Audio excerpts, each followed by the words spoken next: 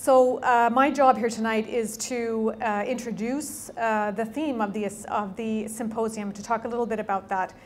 Um, this idea, global movement assemblages. What do we mean by this term? And what is there to talk about for two days about this term? Well, first to say that um, our starting point for this discussion is um, an astonishing series of popular uprisings that began in December of 2010 uh, and continued with great intensity throughout 2011 and more episodically since then. And of course, I'm referring to, number one, the events that we now know as the Arab Spring, uh, the Tunisian Revolution, the Egyptian Revolution, the uh, violent uprising and um, civil war in, in Libya, the ongoing uh, horrendous war in Syria, um, the uprisings in Yemen, in Bahrain, across the whole region. Uh, this astonishing series of uh, hundreds of thousands of people occupying squares and demanding an end to the regime. This was followed in short order by similar kinds of gatherings, again of tens of thousands of people, in Spain in May of 2011, protesting the onset of austerity strategies in the wake of the uh, financial crisis. And across southern Europe, these kinds of occupations happened, again in big public squares, orchestrated through social media, protesting austerity agendas, and explicitly inspired by the events of the Arab Spring. And then in September 2011, in response to a call from Adbusters, Occupy Wall Street took place uh, in New York City and then quickly uh, multiplied across North America. So it was an extraordinary year, such that even Time magazine noticed and called 2011 the year of the activist. And since then, there have been uprisings in Ukraine, uh, the Gezi Park movement throughout Turkey, the umbrella movement in Hong Kong, and other kinds of movements that have also resonated and, and um, taken shape in similar kinds of ways. Student uprisings in Chile and in Quebec over tuition fees, and other kinds of um, democratic uprisings. As usual, no one saw these coming. As usual, scholars, like me, are scrambling to understand these events. For us who are gathered here, uh, who are sympathetic uh, to many of the currents of these movements, to their calls for freedom, for dignity, and for social justice, it also becomes a question about how our modes of analysis, how our ways of reading these movements, which help constitute these movements, how our modes of analysis help uh, these movements into being, uh, expand their meaning, uh, or shut down their meanings. So that's really our task here, is to think about this in a hard way. Uh, many scholarly observers uh, who have sought to explain uh, these movements, um, of course, there are many scholars are perturbed that they cannot predict these things, but then they set out to explain these things. And of course, people have noticed that you know, there's been a close temporal relationship, that these movements happened very closely, one on top of the other, uh, in, concentrated, uh, in a concentrated time period. But then they also had this incredible spread across global space. And so people and scholars have set out to try to discern their roots and their structural origins and they have theorized a global wave of contention or a cycle of protest. And they have noted that these, many of these movements share uh, common characteristics or common features.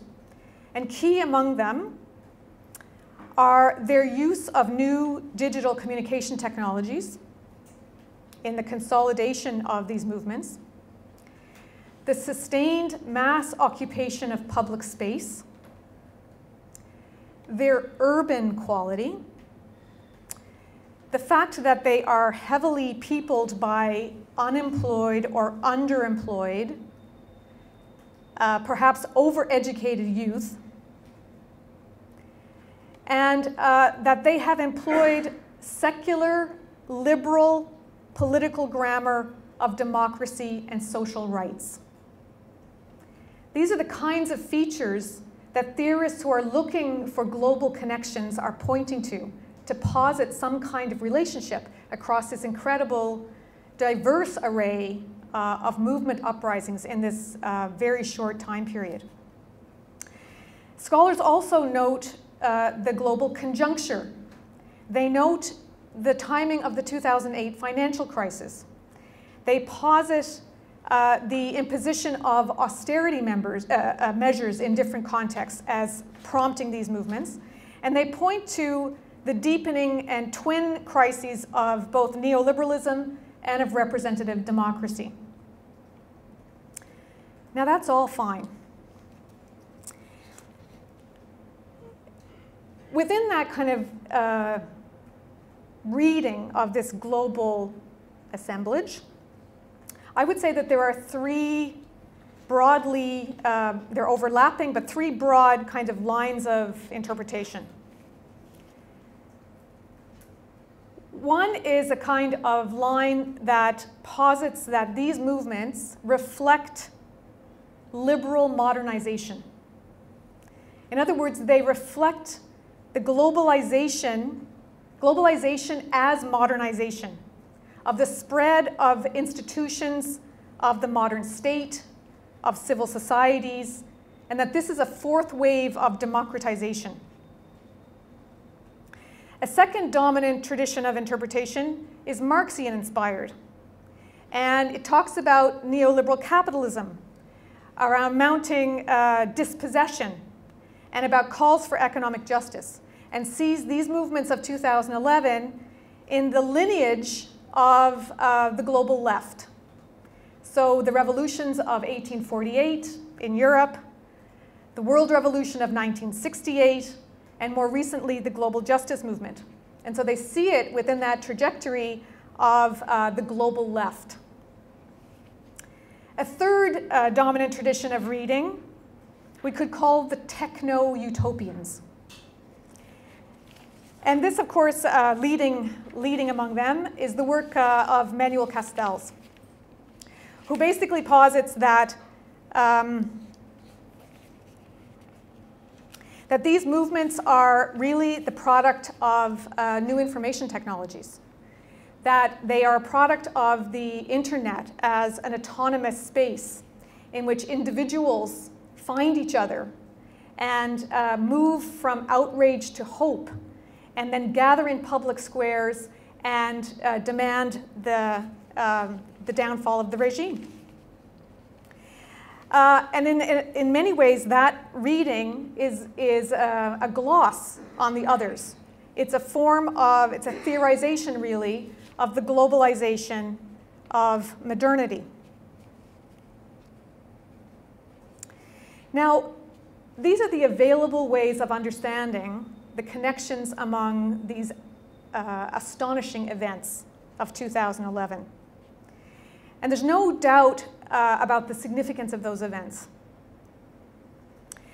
The problem is, and this is part of the problem that's animating our symposium, is that these readings of the global wave of contention which arise from Western social science, basically are underpinned by an assumption of the globalization of Eurocentric modernity. And this has enormous consequences for their conception of what is a social movement, for their understanding of what is political, and for who they privilege as political subjects. Sometimes they, they have come now to see, in the wake of the Arab Spring especially, social movements in the non-West, but they see them in their similarity to movements as they have unfolded in the West. They see actors that are in keeping with actors that have appeared in the West. They see ways of being political that are familiar. And so this uh, presents a question to us about the adequacy of these ways of understanding this global assemblage and the relations between these movements and their possible meaning. And so this provoked us to organize this uh, symposium. And to this we're bringing, um, we're proposing two traditions of thought to try to stir the pot. One of these is um, a loose grouping of uh, scholarship that's known as assemblage thinking. And the notion of assemblage uh, originates with Deleuze and Guattari. And to put it very, very simply, the notion of assemblage pushes us to ask again, what is this thing, X movement, that we want to understand?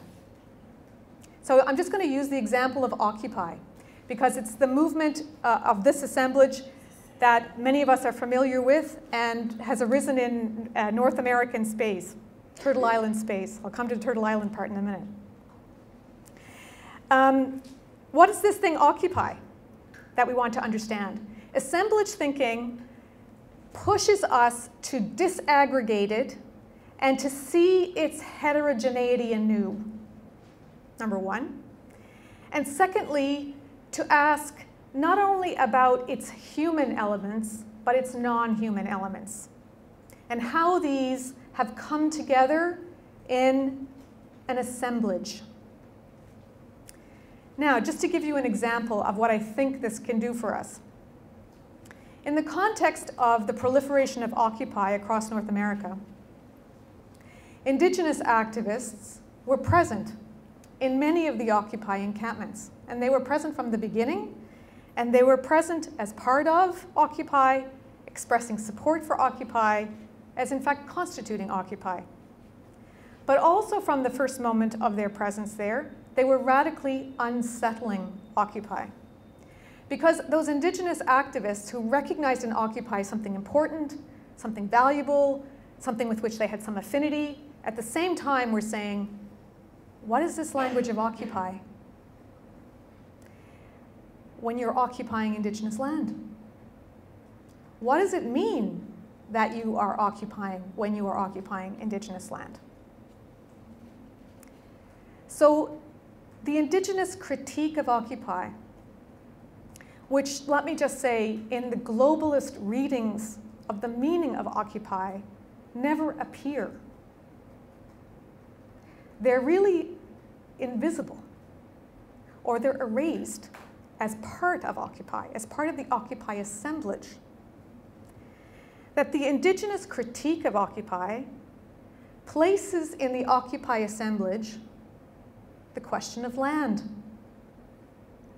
the question of history, the question of memory, of indigenous people's history, of indigenous people's memory, of the memory of colonial violence, of dispossession, and also of the reality of indigenous people's survival, their presence, their resurgence, and their being part of Occupy.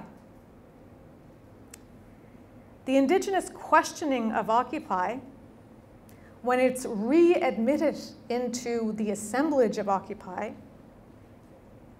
forces us to rethink what we think is Occupy. It forces us to rethink what does it mean to talk about the 99% versus the 1%?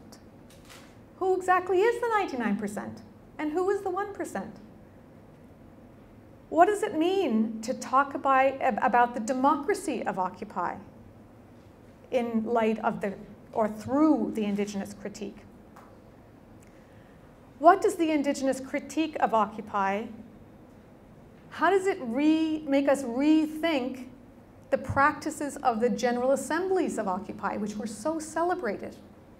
as an example of direct and participatory democracy, as a critique of representative democracy? How does it make it, us rethink Occupy's valorization of consensus as a new form of politics, as an alternative form of democracy? How does it unsettle Occupy's race blind and gender blind understandings of equality and inclusion? How does it make us think about Occupy's democracy as part and parcel of a settler colonial project?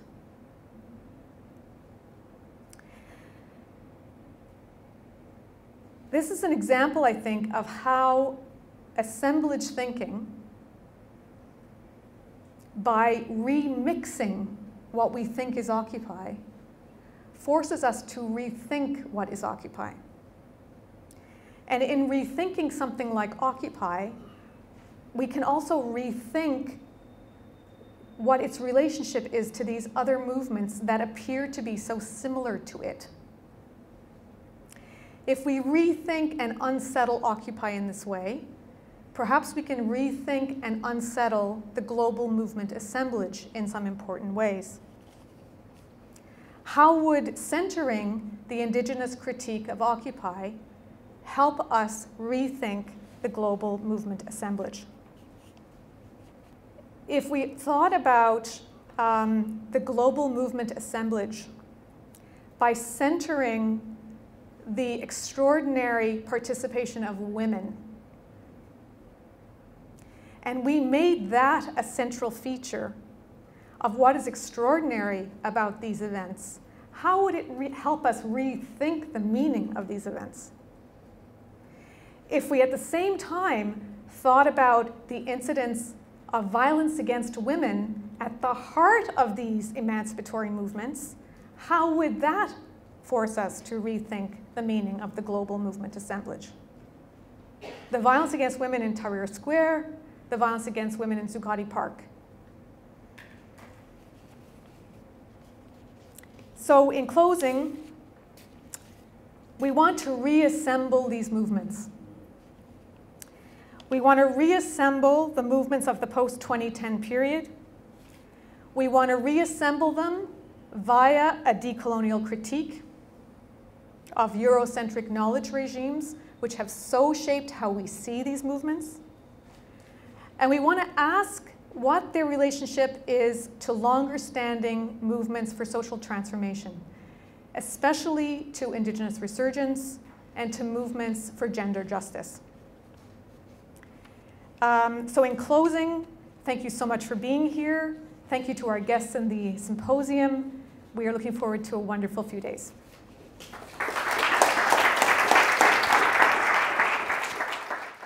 Um, I still have a great deal to learn uh, about assemblage thinking since I only relatively recently began to see it as a promising analytic uh, for rethinking and reimagining activism, uh, participation, and protest, particularly in the 2010s or since the 2010s. So what I'm going to do is do my best to do justice to our specific charge for this session, addressing two core problematics of the symposium, as well as touching on some of the questions posed in the concept paper that Janet and her co-authors prepared for this event. I too have a prepared text, and in the interest of time, I'm going to read more than I like to, but I'll move in and out of the text as much as I can without running too far over time. Um, so what I'm going to try to do is first um, talk to you all about the alternative conceptual framework, discursive fields of action, which I deploy to rethink social movements, or as I prefer to say, uh, rethink activism, participation, and protest, kind of breaking down the notion of social movements as a unified whole by uh, breaking it down into those three things in the late 20th and uh, first decades of the 21st century. Second, as per our assignment for this opening session, I'll explore the utility of assemblage thinking for studying transnational, translocal social movements, specifically the post um, 2010 ensemble, and I'll suggest that because social movements are not totalities, much less pre-given or static ones, Assemblage thinking helps us better apprehend how, when, and why their parts, components, elements, actants come together and move apart, assemble and reassemble without undoing the assemblage. Whereas uh, it's usually thought that the withdrawal of a set of parts um, is, is, is said to compromise or even end a social movement. Third, I'll try to explore the similarities and differences between uh, the post-2010 assemblage and other pre-existing transnational social movement ensembles, uh, particularly transnational feminisms in my case. Uh, here, I'll suggest that global, global that, I'm sorry, that the global and activism participation in protest today is more part of um, the, radical, the radical imagination, as Alex Khasnabish puts it in his paper for this workshop, than it is a set of ongoing networked practices. Drawing on the experiences of post-2010 um, feminist activists in Brazil, I will also propose that translocal assemblages may be more characteristic of today's feminist and other types of activism, especially if compared with the feminist activisms typical in or of the heyday of anti-globalization, which were more often formally organized and transnationally, uh, I'm, I'm, sorry, formally linked and, and, and organized transnationally and were connected to what Lynn Phillips and Sally Cole referred to as distinctive feminist flows that emerged from two translations of feminism that emerged in the late neoliberal era, what they call the UN orbit and the Another World um, translation. Each was deep, deeply, as these terms uh, imply, each was deeply intertwined with the UN World Summits and the World Social Forum process, respectively. Though today's translocal feminist assemblages also cross national borders in many cases, they are typically not transnational in the linked or network sense that these late 20th century fields were. I will offer examples from Brazil's Slutwalk, anarcho-autonomous feminist organizing, and recent organizing among Afro-descendant women to illustrate the translocality of contemporary globally minded feminisms. Um, so first a few words, can you read that? Yeah, first a few words about my alternative conceptualization that I'm going to do very much in brief here of the notion of um, social movement or my rethinking of that notion. The political grammar I've been working with for some time now in analyzing the shifting dynamics of what we normally call social movements, feminist movements in particular, largely turns on this notion of discursive fields of action. It actually, by the way, for those of you who know Bourdieu and theories of fields and so on and so forth, um, much of my thinking on fields is derived not from that tradition, uh, but from Brazilian intellectual activists who began to develop this notion way back in the 1980s. I'd never even uh, read Bourdieu, actually, when I first started using the term fields to think about movements. Discursive fields of action are much more than a mere agglomeration of what sociologists call SMOs or social movement organizations. They encompass a wide variety of individual and collective actors and of cultural and political sites and, and, and local, national, translocal, and global scales. Discursive fields of action are both formally and informally articulated through reticulate webs. Uh, these not only connect social movement organizations and NGOs, but also interconnect individuals and more or less formalized groupings situated in diverse spaces and places, whether in civil society, in uncivic society, um, which is most often politically articulated in the streets and in the countryside, which I like to call civil society's other, political society, the state, intergovernmental organizations, the academy, cultural industries, the mainstream media, alternative media. These are all sites in which activism happens. Um, and we need to map that activism as it happens outside that sphere that we normally think of as the sphere of social movements and civil society. Um, that's harder to read. Activist fields, are, I just put this together in the hotel room like a while before we came, so I didn't get to play with it much. Activist fields are wo woven together through multi-level, multi-layered, and continuous crossings of peoples, practices, and ideas, virtual and real. Because of this, feminist fields are always in movement. The boundaries of who or what is properly a feminist are imposed and constantly policed by actors who establish themselves as hegemonic in a given moment or context. But they are also constantly challenged and reshaped through political struggle, contestation, translation, and reappropriation. Fields are also articulated discursively, that is, through shared, though continuously contested languages, meanings, and worldviews. This idea of worldviews will come back as an important feature of these things. Uh, indeed, political and discursive contestation and the contestation, contention and the contestation of meanings and power are constitutive elements of feminist fields. My most recent reimmersion in the fields of feminism in Brazil during a long sabbatical um, in 2013 2014 triggered a further conceptual realignment in my thinking about this stuff. Recent developments in Afro Brazilian feminist politics, in particular, prompted me to think about ontological politics, or better, emergent feminist fields, distinct activist fields grounded in different worlds and thus in distinctive views from those worlds.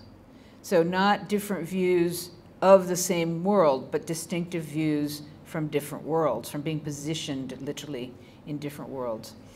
Um, so uh, furthermore, feminist discourses are today multiplying at a vertiginous rate, and people who call themselves feminist engage in a truly dazzling array of action. Feminisms are now arguably not only plural, but multi-sided, often translocal, and internally hyper-heterogeneous. The, boundary or, the boundaries or parameters whose incessant disputation and reconfiguration were, to my mind, constitutive of late 20th century feminist fields are today arguably so diffuse, so mutable, moving so swiftly so as to make it close to impossible to even dispute them political, politically and also making it all the more challenging to theorize them adequately, let alone map them or trace them empirically. And these multiple places and spaces of feminist activism combine and recombine, clash, rebound, and reassemble with others or with one another in often transmuted forms. Feminism, feminist activism then is not just rhizomatic in the sense of that it seems to be in similar ways popping up in different ways, but I think it rather looks and feels more like what many have theorized as assemblages, and I'm going to say more about that in a moment. But first I want to share with you a couple of stories about emergent feminist fields in Brazil and what I'm tentatively beginning to um, think of as, as feminist activist, translocal feminist activist assemblages. The first I'm going to talk about is um, the Marcha das Vadias, Brazil's version of the now global Slut Walk Ensemble, um, which you're very familiar with here since it started in neighboring Toronto. Um, the Slut Walk has mobilized tens of thousands of young women in Brazil, as well as trans feminists and solidary gay and straight young men in dozens of Brazilian cities since um, its first edition in 2011. Literally, eh, literally embodying their feminisms by emblazoning gender nonconforming, queer, anti-racist, pro-social justice, and trans-inclusive slogans on their bodies, the Vadias rebellion uh, rebellious public defiance of, of cultural gender norms um, brazenly enacts a radical cultural politics. Why the term vadias? In one rendition from the Marcha in the city of Sao Carlos in the interior of the state of Sao Paulo, uh, one said, we appropriated this term slut because we realized that it is a word used to, used to address us women when we demonstrate a kind of attitude of freedom, especially sexual freedom if it, if it, if being free means being a slut, then we are all sluts. We live in a world that is scandalized by strong words, but not by violence against women. Glediane Ferreira, a vadia from the Coletivo de Vagabundas do Desterro, and even in Brazil they use different words besides vadia, besides slut, to, in each of the local marches. Uh, in this case, uh, this is a group from the southern city of Florianópolis, which is my hometown in Brazil. Um, she explains that the use of the term itself triggered extensive debate among feminists and critics alike. She argues that much like the North American experience, which sought to extract another connotation from the term queer, the struggle for the resignification of the term vadia, commonly used in Brazil as an expression of mockery and name-calling, was one of the principal objectives of the marchas. A global radical imaginary is clearly at work here. Yet though Slutwalk is now an activist uh, global activist modality in Brazil and, and, as in many other parts of the world, it is organized independently of other slut walks, even those in other parts of the same country. It is thus a translocal assemblage, emergent from the multiple crossings, the temporary entanglements among marchas in different Brazilian cities as activists and their mobilizational paraphernalia, um, like posters, images, chants, etc., travel and reassemble among dispersed sites. The Brazilian Marcha was enacted, has enacted cultural interventions that, along with the effusive anarcha-feminist scene, the extensive feminist hip-hop crowd, the blogueiras feministas or feminist bloggers, the blogueiras negras or black, black women bloggers, the girls rock scene, Minas do Rock, eh, and many other ludic cultural political expressions emergent in recent years, signal the growing popularization of feminism among new generations of activists. Most of these activists, um, most of these activist expressions are articulated virtually and translocally, and like the Marcha das Vadias, also translate and reappropriate global discourses and activist practices that travel virally.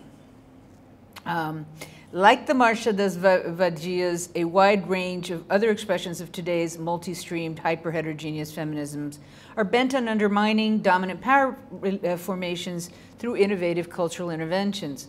One uh, novel recent feminist organizing modality is the festival, a format that a group of activists who were organizing the first Antifest Suspiro Feminista, which was an anti-festival um, sigh of feminism is the, what the literal translation would be. In Belo Horizonte explained, um, these are supposed to be more fluid, less structured than the now traditional feminist encuentros or encounters of yesteryear. It is something much less academic, they said, kind of do it yourself. It's contact with the streets, getting, getting together and doing it for ourselves. It's a feminist breath of fresh air in the midst of machista violence and life's messiness. It's an attempt to practice together feminist ways of relating to one another and to construct autonomous zones of resistance.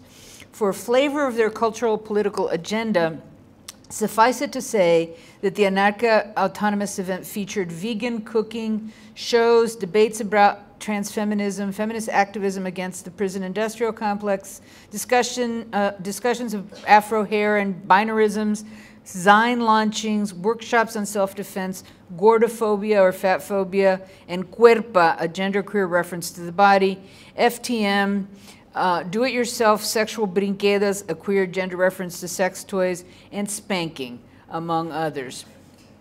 The Antifest uh, was inspired by a similar fe festival, this is the one you're looking at here, uh, held yearly in Salvador, Bahia between 2010 and 2013, the Festival Vulva la Vida, uh, whose third edition, I, I assume you know the, the, what that means. It's not hard, not, not a big stretch. Uh, those third, uh, this whose third, third edition slogan was proudly feminist, necessarily inconvenient. Uh, the public call for the meeting posted through social media and on their website described the event as follows. It is a feminist countercultural festival through do-it-yourself ethics, we believe that change does not depend on the initiative of political parties and institutions. We should practice it daily, developing new values for relations caught up in daily life. This implies thinking our more intimate habits, rethinking our more intimate habits, making revolution both in the streets and in bed. Politics is also fun.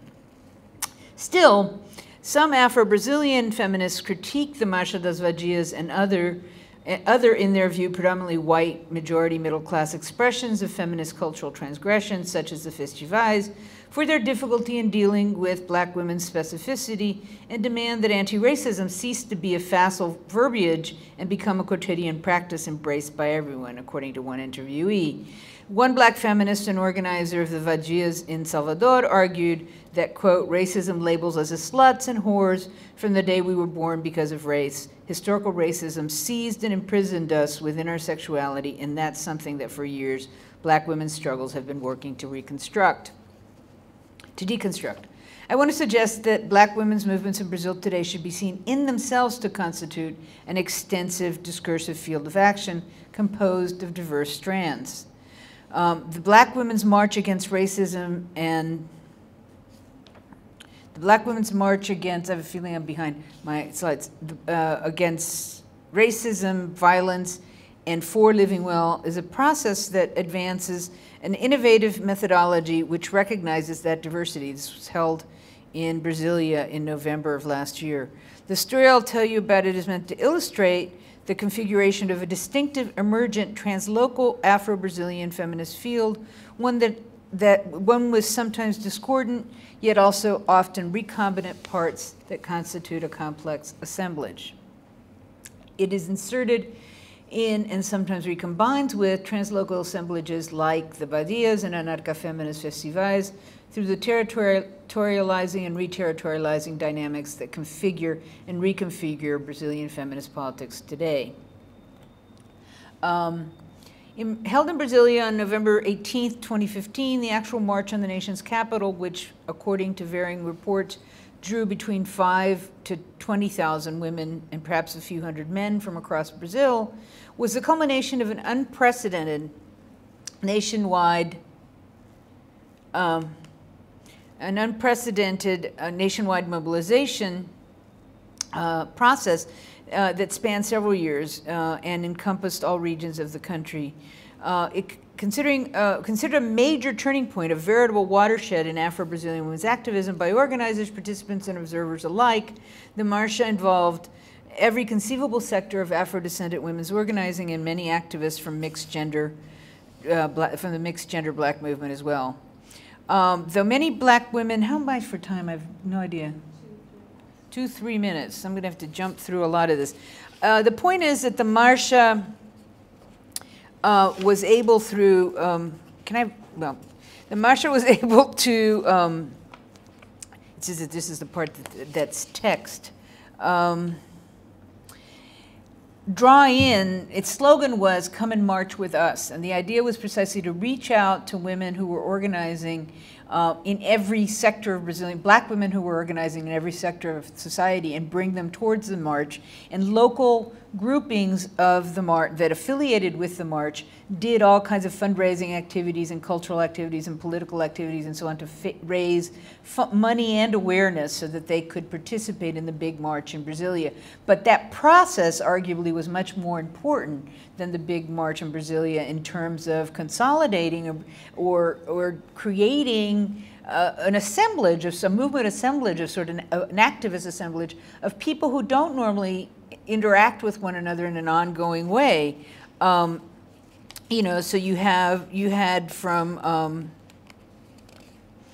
you had, you know, everything from Mães de Santo, uh, from traditional Afro um, uh, uh, Brazilian religions, uh, to, uh, you know, radical lesbian feminists, um, anarchists, to trade unionists, to uh, liberal professionals to former politicians or current politicians. It, you know, so this broad uh, spectrum of people who uh, seldom come together. Um, in, in, in, importantly, there was also a major uh, presence, an unprecedented presence of people from the north and northeast, which is the, the blackest and not coincidentally the poorest uh, region of Brazil. Uh, whereas normally in these kinds of things, people from the wealthier south and southeast sort of control the, the dynamics of the assemblage. Um, and they were organizing transnationally with other women in the Amazon, and they were the ones that brought in this idea of, of living well. So the march was called against racism, racism, against violence, and for living well. And I thought, wait a minute, this isn't Bolivia. Why are they talking about living well?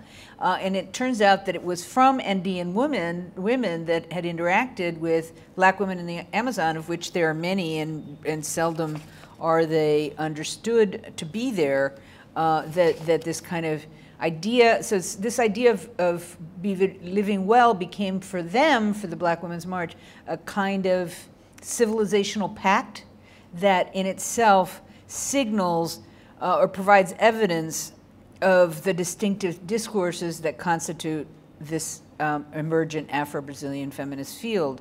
Um, The Marcha process, as distinct from the event in Brasilia, might be understood as an emergent modality of feminist activism, one that leads me to believe that assemblage thinking is a useful way of apprehending feminism in, the, in movement today. And this part is essential for sort of our theoretical considerations. Uh, the Marcha brought together rearranged local and national fields of Afro-Brazilian women's activism, the Afro-Brazilian sex workers, black domestic workers, and Afro-descendant trade unionists who came together during the march don't necessarily engage one another discursively in an ongoing way, either virtual or real, but they nonetheless combine and recombine, assemble and reassemble in diverse activist fora like those emergent through the Marcha process.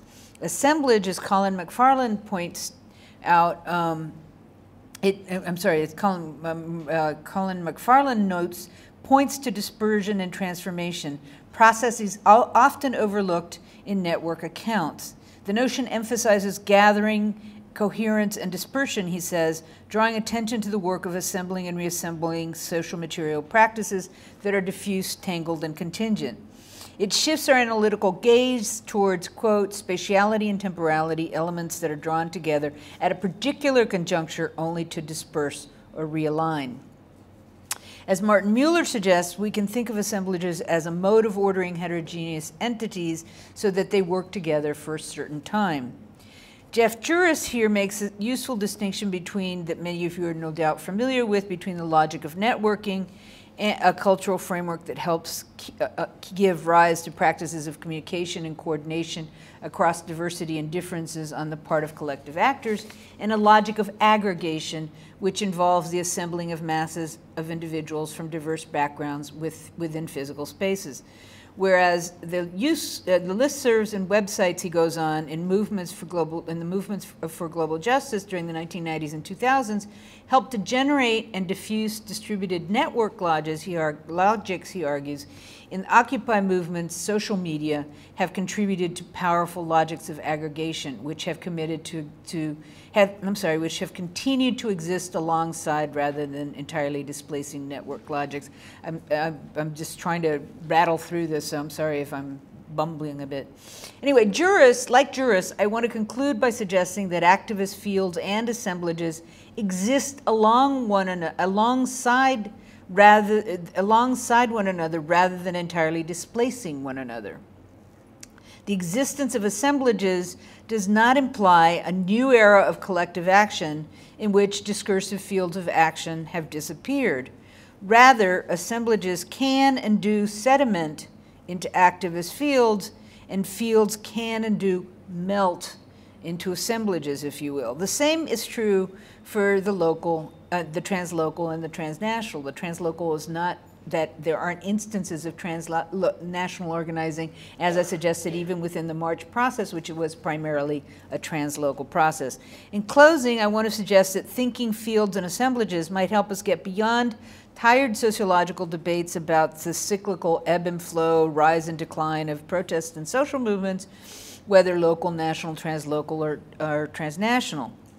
Enabling alternative reimagining uh, uh, that, uh, an alternative reimagining that may assuage endless activist hand-wringing about the state of the movement. Um, is it dead or alive, peaking, receding, in abeyance, institutionalized, co-opted, autonomous, subversive, effective, successful, ineffectual, disastrous, etc.? Such questions, both activist and academic ones, are based on a certain objectification or thingification of social movements, uh, their shared analytical point of departure is, is that we already know what movements are, what they look like, how to spot one when we see one, and that we even know where we'll find them. Typically the answer is we'll find them in the streets protesting, right?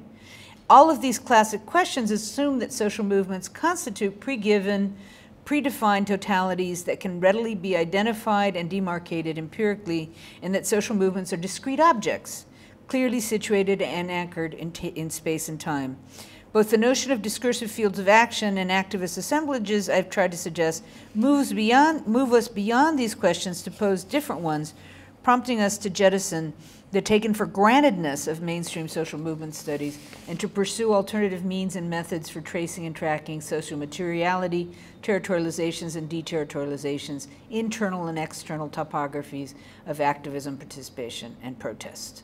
So, how uh, are you mobilizing the concept of social movement? How are you grappling with the problem of the global in relation to the post 2010 assemblages or pre existing movement assemblages? Is assemblage thinking more useful as a concept, an analytic, or an approach to an empirical study, or as a thoroughgoing ontology? From an anti colonial, indigenous, anti racist, or feminist perspective, what are the politics of knowledge in engaging assemblage thinking? Beyond their observable commonalities and linkages, should the post 2010 movement episodes be considered an assemblage in any deeper way?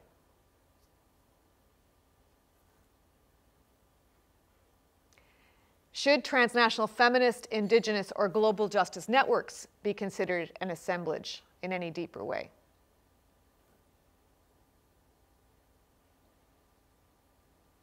How does assemblage thinking enable us to think about power and change?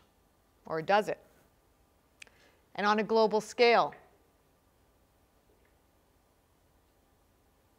is assemblage thinking self sufficient in terms of thinking about power and change? How should it be supplemented with other critical traditions? Does assemblage thinking, or how does assemblage thinking, assist in attributing meaning to these movement ensembles and their relation, and or in reading the contemporary global conjuncture? So obviously it's a set of questions about assemblage thinking, about its utility, about how we can use it, and also about should we use it. Okay? And especially in light of uh, decolonial, anti racist, and indigenous thought, and also feminist thought.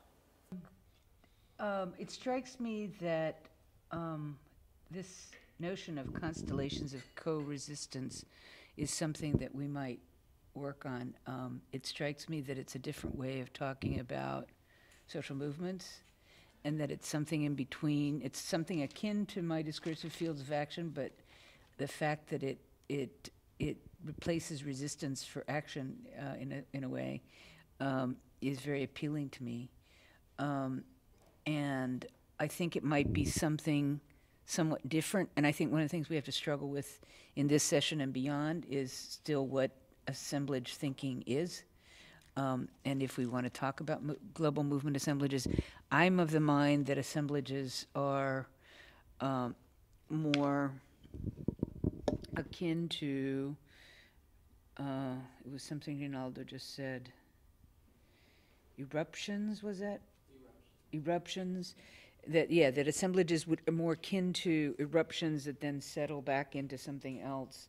Um, but that, that, uh, that const- that constellations of co-resistance are more permanent articulations, not that you know, that assemble and reassemble as well, but that are more broad-based than what we normally think of as social movement organizations um, that include individuals, that include communities, that include all kinds of actors that we don't normally associate as activists. And you know, I do think we have to have a time frame. I, while I agree that everything didn't begin in 2010 um, or 2011, um, that you know we can't possibly talk about um, transnational, translocal movements across time, other than to say that there these there are firm historical foundations upon which some of these um, activist modalities um,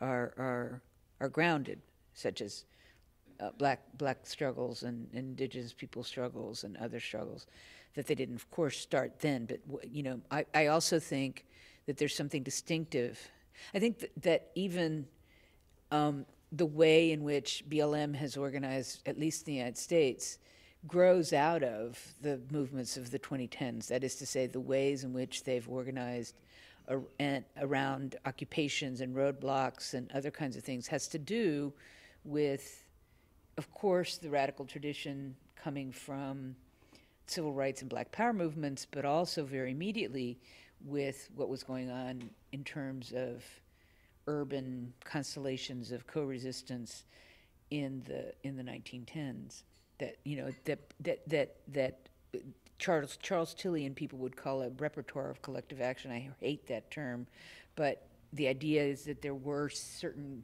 ways of of doing politics that became uh, sort of possible again or imaginable again um, in, in, in sort of radical street politics in massive form. I mean, street politics have, have never ceased to exist. Sometimes people don't see it because they're not looking for it, but massive, the way that massive street politics is happening around the world is part of what is going on.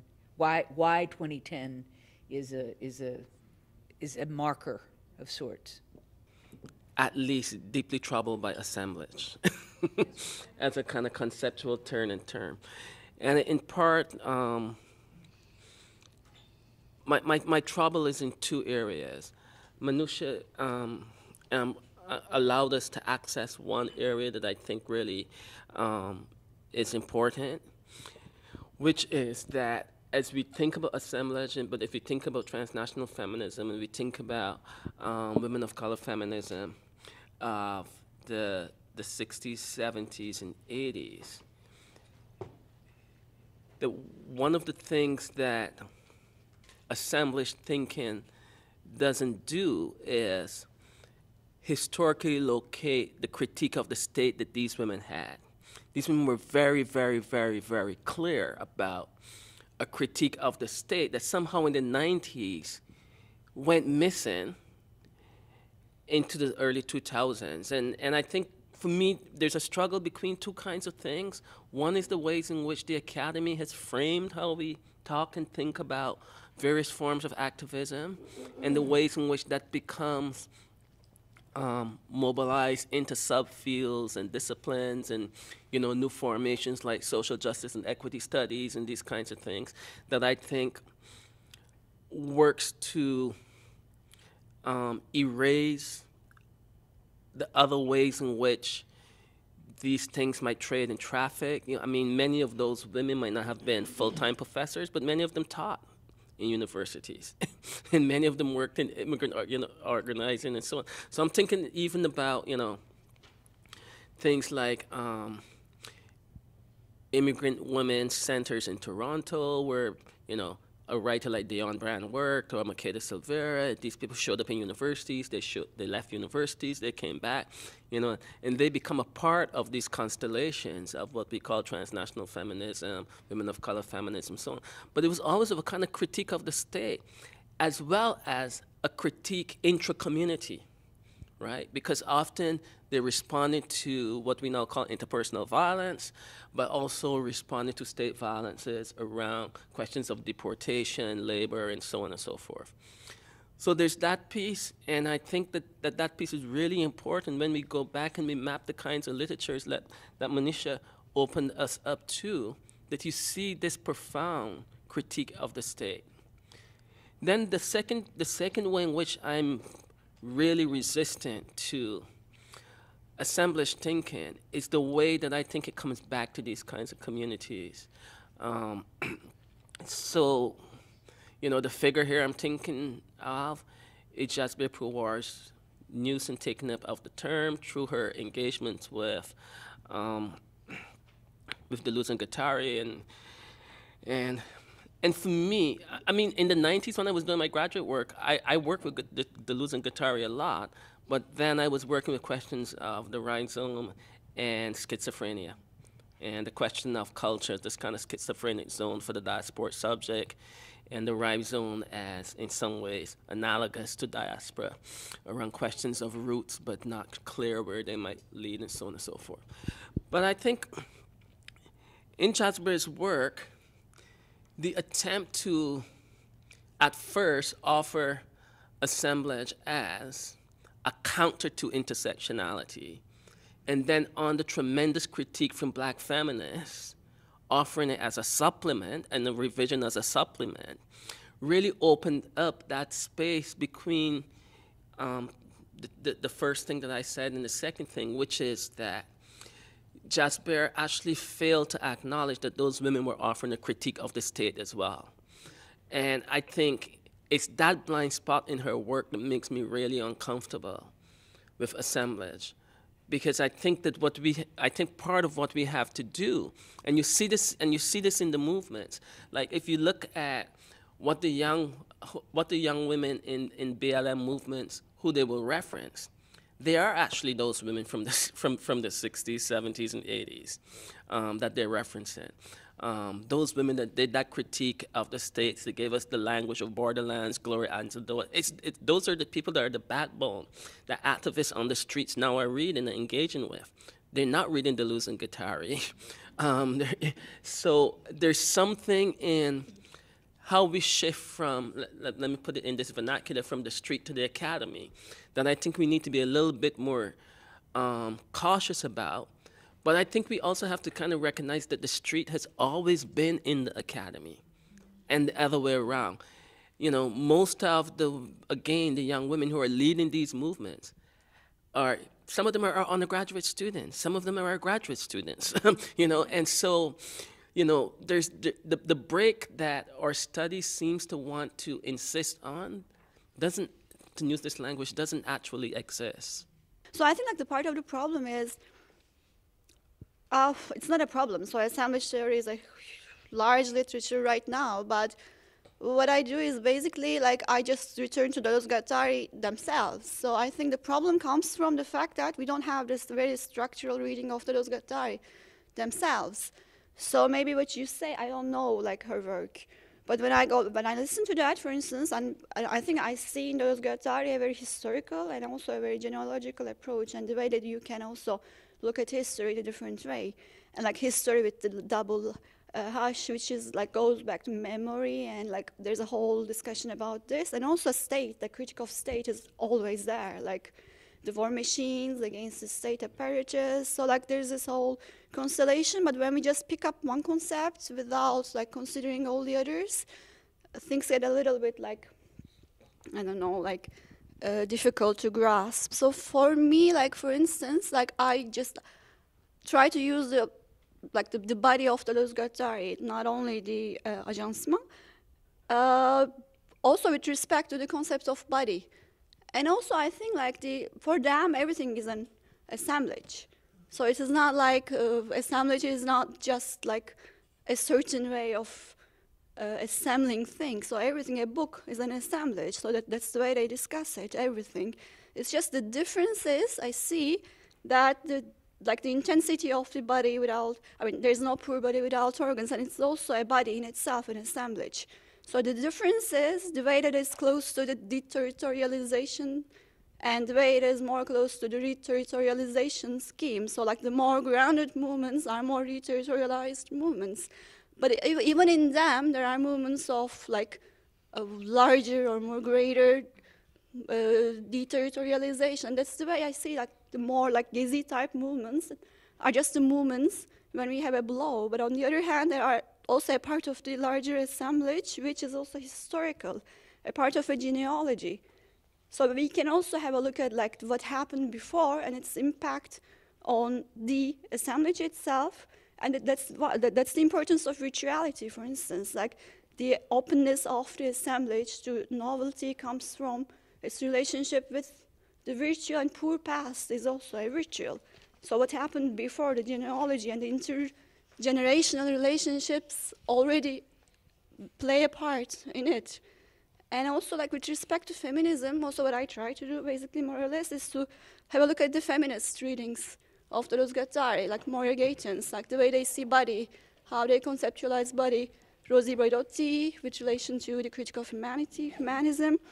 So there is also a way to see and to look at the whole work of Deleuze Guattari, not only like picking up the assemblage itself, but also with relation to what they say about like the politics and also about power. Another question, like their relation with Foucault, for instance, is quite interesting. What they say in A Thousand Plateau is that we agree with Foucault on basically everything. Oh, just there's just one thing is for us, assemblage presets the power. So it is what constitutes the constellations of power. So like the, that's the only difference we have with Foucault. And uh, also his work with Foucault is more or less about like what they understand from power and how they conceptualize it. So like just the solution might be just to look at their work in general, not just this concept. I'm thinking about this gathering in light of my experience at World Social Forums, at most of the major, the big international ones, plus a few local ones.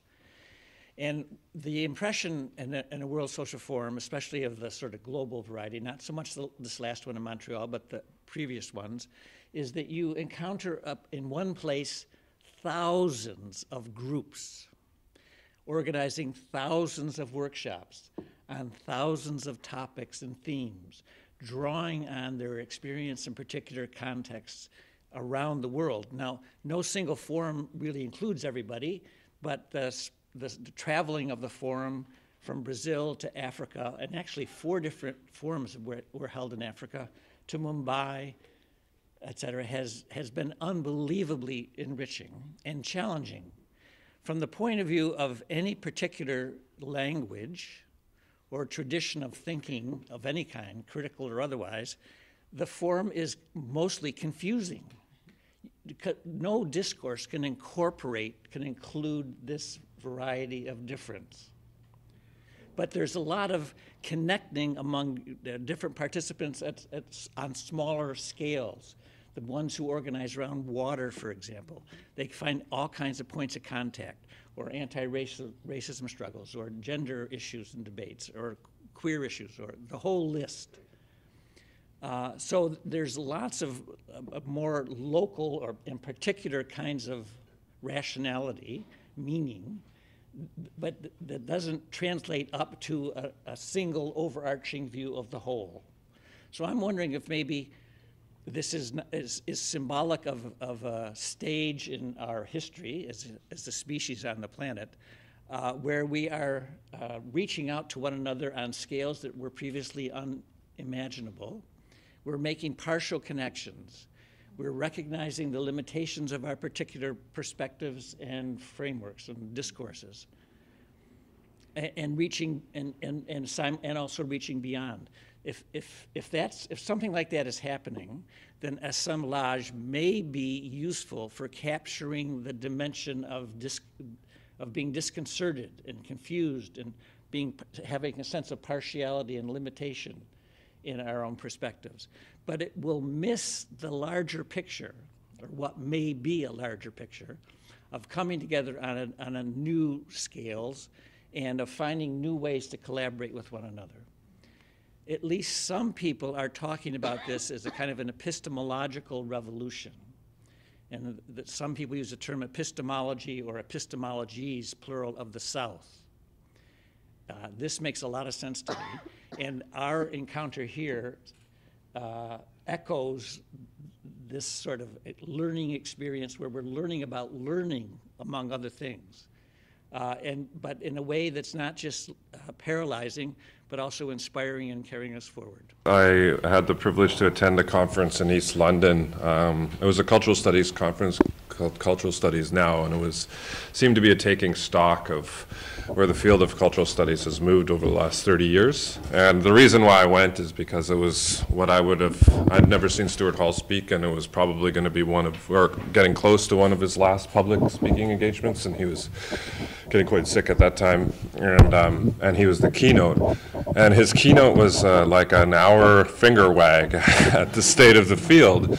And he made a couple of jabs at kind of the like theory for theory's sake and in the rafters. And he was like, we've moved from, and he was also like kind of propping up his own work and the work of early Birmingham school and stuff like that as being kind of grounded in class struggle and anti-racist struggle and all that sort of stuff. But he said that the move in kind of contemporary cultural studies um, from Gramsci to Deleuze and Guattari was a real problematic one for him because it wasn't the Deleuze and Guattari that were militant communists in the kind of class struggle of 1968 it was this this totally removed sort of theorizing from actual um, class struggle, struggle of people on the ground. So this is just echoing some of the concerns, the way in which theoretical frameworks can travel and be appropriated not towards more radical ends, but kind of more navel-gazing, um, um, um reactionary sort of ends. But when I think about whether or not assemblage is, is useful for, say, decolonial struggles, I tend to think of the way in which Leanne frames um, the use of, or like in, like the use of critical frameworks in general. Um, in one way, I think there's always two questions at play: is like, does this provide us as scholars or as activists or whatever a better grasp or empirical sort of representation of what what's happening in reality? Um, and I think to a certain extent, maybe assemblage theory is kind of useful um, in that way, as opposed to other more totalizing, um, kind of um, um, less hetero, like like just uh, models that don't kind of get at the complexity of our interactions and our movements and so on. Um, but there's always also, I think, a normative question that's being asked is like, does this representation of reality, is it better in that it enables the construction of free worlds or lives in the, in the sense that Rinaldo speaks of? And that, I don't think that assemblage theory for indigenous peoples is all that useful um, because that is a project of theoretical but also cultural self-emancipation. That's going to, those worlds are going to be constructed through your own engagements with your own uh, rich traditions and the way in which they've kind of cross-percolated with others. But it's going to be one that is, that is homegrown. So I think that assemblage theory is probably useful in that it, it, provides, I guess, a different take on reality that that avoids some of the, the shortcomings of other um, critical frameworks. But in terms of the normative kind of prescriptive element, in terms of the creation of new and free worlds, that is probably going to be left up to the um, to the communities themselves and, and in critical engagement internally with their own traditions and their relationship with others. Yeah, and just, I mean, just to clarify, um, the, um, I don't, I personally don't have any stake in our uh, embrace or not of assemblage theory. I think that there's been uh, ample uh, examples of how people have used it very selectively and productively without uh, uh, signing on to it to the exclusion of other things. So uh, just to say that, you know, there's no, there's no agenda here to, to want to promote it. It really was a strategy to try to crack open the fossilization of most ways of talking about social movements. I mean, so for those of us who are more anchored in that sort of uh, academic work, the available ways of talking about movements are so problematic that this signals a desire to complicate that. And so it's just really, for me, it was a strategy to do that. And um, and I think it's succeeded actually. so I'm happy about that. But it, but it's also a, a, question in terms of uh, how and if. Um, and actually, I do think there are some people in the room for whom uh, assemblage thinking uh, has been very, very productive in reading particular episodes. And so I don't think there's any question about the utility of that, you know? I think there, there's a larger question about how we might and how and if we might um, gather uh, the range of work that's in the room in uh, a way that that both um, that might provoke uh, the, the assemblage thinking is just a starting point to ask a larger set of questions.